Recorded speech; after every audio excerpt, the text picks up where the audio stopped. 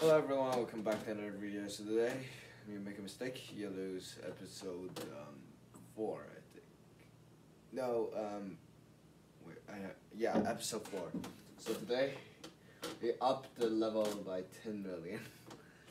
um, we do, the, we're gonna play and sight read Sorabji's Opus Clavicembalisticum, um, one of the most difficult pieces for piano. It's utterly insanity to sight read this. I mean, how are you supposed to do this? You'll see the sheet music on the side. So we're gonna have to sight read this very slow, but maybe the beginning I can do faster because it's pretty easy for